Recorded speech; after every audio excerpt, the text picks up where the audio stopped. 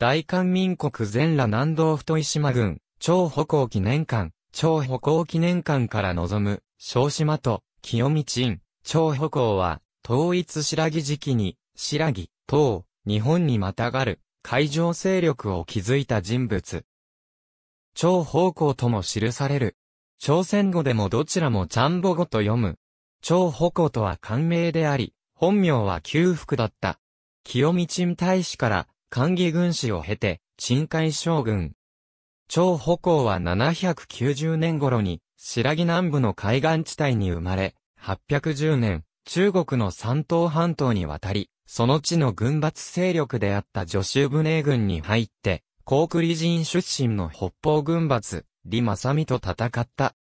助州節度支配下の軍中少将の地位を得た後、828年頃に、白木に帰国し、皇徳王に面会して、白木人が中国で特に海賊たちに奴隷として盛んに売買されている実情を報告し、兵一万を授けられて、清見鎮大使に任命された。清見鎮は、現在の全羅南道太島郡に相当し、任務は奴隷貿易禁圧である。張歩行は、海賊たちを平定するにあたって、武力での鎮圧ではなく、奴隷貿易よりも安定して、高収入が得られる、海運業、造船業の仕事を与える方策を用いたと言われる。現在の全羅南道太島に根拠地を置いた超歩行は、白木南部の軍商海上勢力を参加に収め、等、日本と手広く交易活動を行い、中国沿海諸港に居住するイスラーム商人とも交易を行った。このため、その名前は日本でもよく知られるようになった。836年に、皇徳王が死去すると、白木のと、近城では、王族間の後継争いが起こり、一旦は、敗れた金融庁が、張歩行のもとに身を寄せてきた。張歩行は、金融庁を支援するために、友軍の丁寧に5000の兵を与えて、ビニア用を打ち、金融庁は、人務王として即位することができた。この功により、張歩行は、官義軍師に任命され、職有に先行を賜った。神武王は、大井三奪の成功の暁には、張歩行の娘を王妃に迎えると約束していたが、即位後6ヶ月で急死した。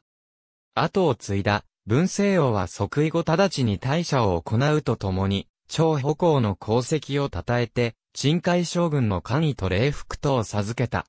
さらに845年3月、戦王の命約に従って、張歩行の娘を王妃に迎えようとしたが、張歩行の身分が卑しいという軍神の反対によって、取りやめとなり、これを恨んで、張歩行は846年に反乱を起こした。文政王は、張歩行の武力を恐れて、討伐を躊躇していたが、ここで、延長という剣客が彼の暗殺を受け負った。延長は、張歩行に偽装投稿し、宴会の席で、張歩行を暗殺した。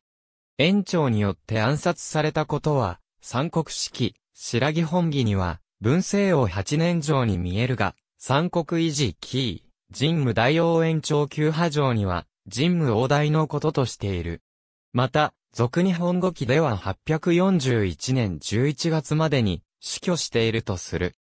城は7年12月に特産品の日本朝廷への献上を目的に詩人を太宰府に派遣したが、他国の人心による安易な行進は受け入れられないとして献上品の馬の蔵を返却する命が日本の朝廷から出ている。張歩行が暗殺された後、文政王は851年に清見鎮を廃止した。張歩行の元部下達は、慶州の壁骨県に移動させられたが、ここで、再び反乱を起こした。張歩行が関わる一連の平乱を、旧福の乱と称することもある。死後に反逆者として扱われてきたため、張歩行に関する資料や彼の拠点は破壊されて、ほとんど残っておらず、残っている資料は大変貴重である。元部下達の一部は、九州に移動したと見られている。新東女末期220、白木伝では、超歩行と定年とがもともと地期であったこと、共に、都で、武寧軍少将となったことを伝える。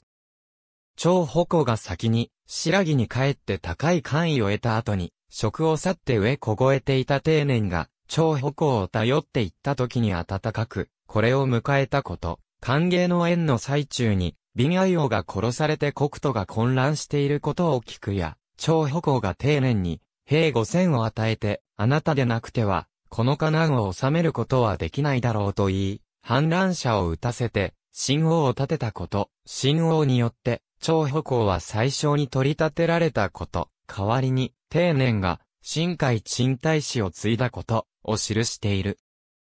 さらに続けて、土木が、超歩行、丁寧の交わりを、安禄山の乱における、核紛用、リリンワイの交わりに見立てて、仁義の人であると称賛したことを伝え、新東女の列伝を編纂した、早期の表として、国難の時期に、義の心を持って、国家の勇敢を第一に考えた人として、新国の奇形、東大の核紛用、超歩行を挙げ、どうして、東方の万国に優れた人物がいないということが、あろうかと称えている。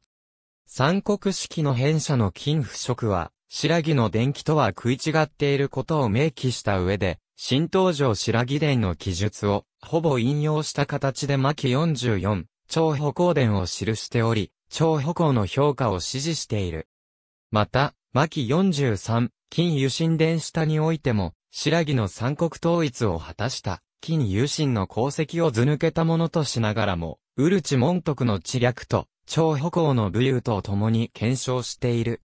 旧世紀前半、山東半島の港町、石山に、石山北家院を寄進すると共に、短期で帰国しなければならなかった日当を受け、駅造園人の長期不法在等を、実現家父を取り付けるしたのをはじめ、園人の9年6ヶ月の愚法の旅を、物心両面にわたって支援した。園人の日本帰国時には、張歩行自身はすでに暗殺されていたが、帰化の小バリエが、円人の帰国実現に尽力した。円人の日東愚法巡礼行記には、直接会ってはいないが、超方向の名前が数箇所登場している。三国式白木本義には、旧福、新東城白木伝や、三国式、超歩行列伝には、超歩行、三国維持キー、神武大応援長旧波城には、弓智え、俗日本語記には、超方向の名で現れる。あゆかいふさゆき神は、元は、姓がなく、固有語による、名の旧福だけであったが、唐にわたって中国語による生命を作ったものと、推測される。弓から中国に多い姓である、蝶に当て、服の元となる音を歩行に当てたものという。あゆかい1987ピアニッシモ20から22俗日本語記上和7年12月27日上俗日本語記上和8年2月27日上藤間1966金日の絵羊猿2015 P1 金日の絵羊猿2015ピアニッシモ2から3ありがとうございます。